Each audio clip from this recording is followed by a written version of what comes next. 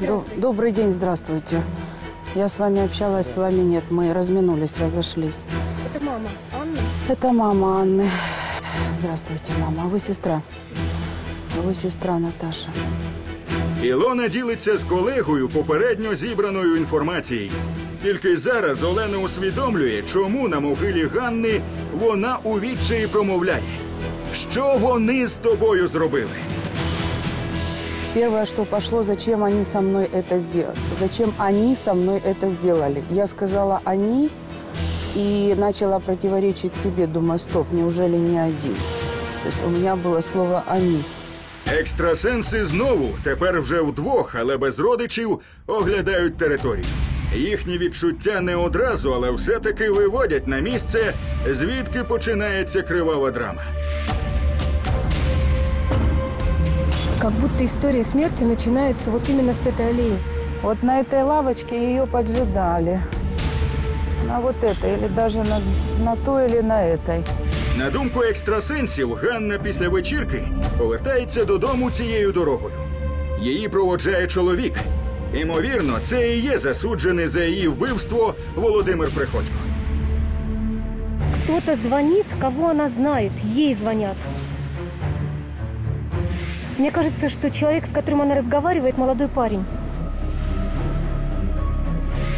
Вот она, вот оно, вот это звено в цепи. Ей звонит человек, которого она знает, она говорит, где она, Она говорит, да, я здесь, я скоро иду, иду. Про загадковий дзвінок розповідав і Приходько. Після нього Ганна не дозволяє себе проводжати. Екстрасенси відчувають, що чоловіка, який телефонував, не було тут. Але він перебував на постійному зв'язку з хлопцями, які сиділи на лавці. Мне кажется, что он, он знает вот этих молодых людей, которые дальше участвуют в этой истории. Ее ждут, молодые люди смеются, молодые люди а, в каком-то очень повышенном настроении, выпившие они или под чем-то, непонятно. Екстрасенс бачить, що хлопці пропонують Ані зайнятися сексом. А коли чують відмову, збивають дівчину з ніг. Судебные медики исследовали тело девушки на предмет изнасилования.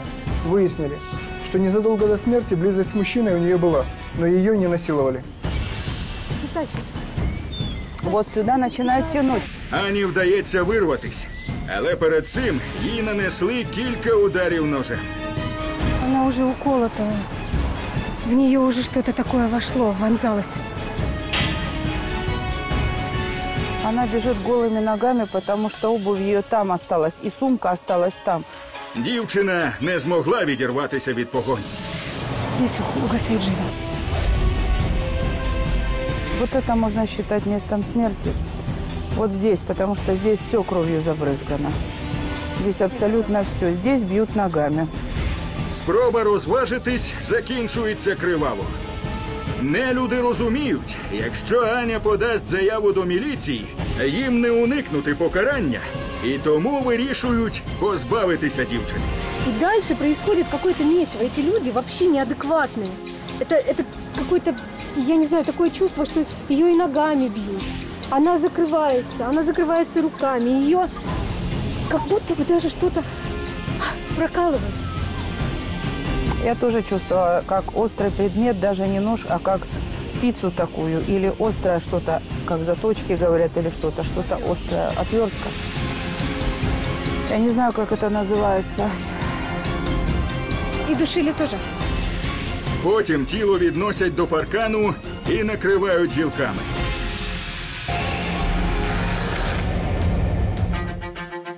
Екстрасенси повертаються до батьків Ганни. Їм важко розпочати розмову. Единственное, с чего, наверное, есть смысл начать говорить вам сразу, это то, что место смерти, к сожалению, было тоже здесь.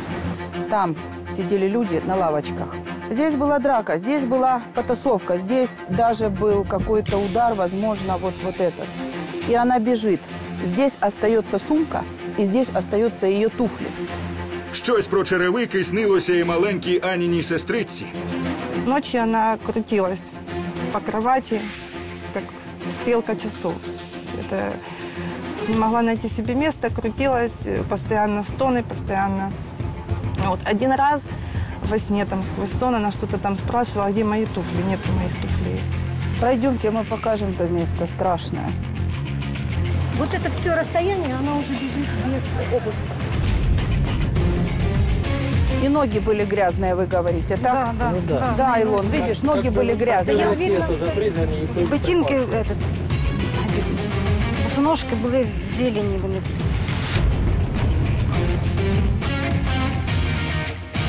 Здесь догнали, вот здесь. Здесь уже все.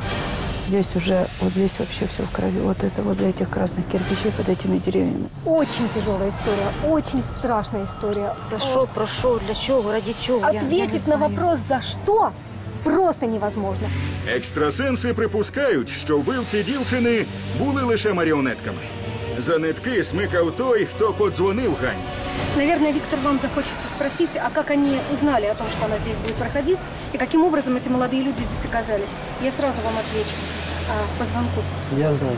Під час судових слухань заарештований Володимир Приходько встиг розповісти батькові дівчини про дивний дзвінок.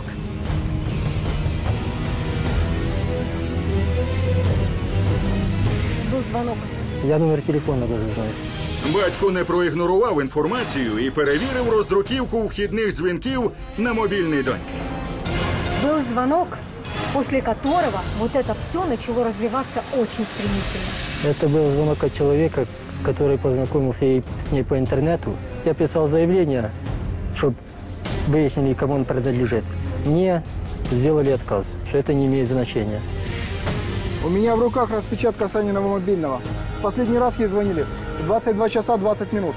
Собеседник находился в районе автовокзала Возможно, в нескольких метрах от места убийства. И вполне вероятно, именно этот человек и был главным режиссером кровавой трагедии.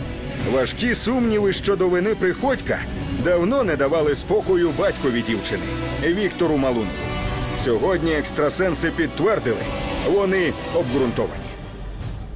Да, экстрасенсы подтвердили, что Приходько невиновен. Мне стало легче. И моей дочери, которая находится сейчас в параллельном мире, тоже стало легче. Горю батьків немає меж. Вони вже понад два роки усвідомлюють, що їхня донька ніколи не скаже їм доброго ранку. Не порадує їх звісткою, що виходить заміж, що вони стали дідусем та бабусею. Єдине, що втішає Катерину та Віктора, думка про те, що їхня страшна історія вкотре попередить усіх, кого зачепила заживе. Я дуже вдячна екстрасенсам, що вони уділили дуже велике внимання моєму горю. Я не хотіла спочатку, взагалі не хотіла. А потім, ну, може, раді Анічки, може, раді тих дітей, в кого діти є, раді тих матерів, щоб застерегти дівчат, що не скривайте дівчатка особливо. Довіряйте своїм мамам, не ваші перші подруги. Перед від'їздом екстрасенси радять Віктору в цьому трагічному місці спалити малюнок молодшої доньки. Той самий, на якому Настя намалювала засудженого. Ілона та Олена переконані, що після цього обряду дівчинка більше ніколи не буде в ролі посередника між світом мертвих та живих. Здесь нельзя еще рассуждать о ясновидении. Здесь можно говорить о том, что через ангела неупокоенный дух передавал информацию. Батько прислухається до поради. Хоча до приїзду знімальної групи планував всіляко підтримувати екстрасенсорні здібності у молодшої доньки. Я хочу это сделать на этом месте. Да. Мне, я буду стоять, я буду стоять здесь. Так, подержите коробочку, чтобы мне было удобно спичку зажигать.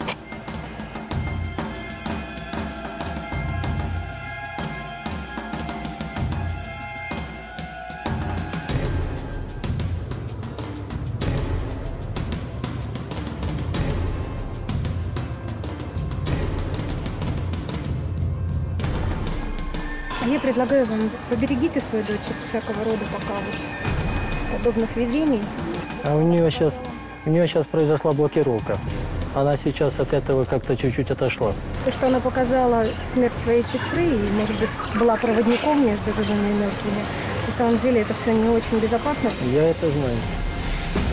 Екстрасенси відкрили багато нових деталей у справі.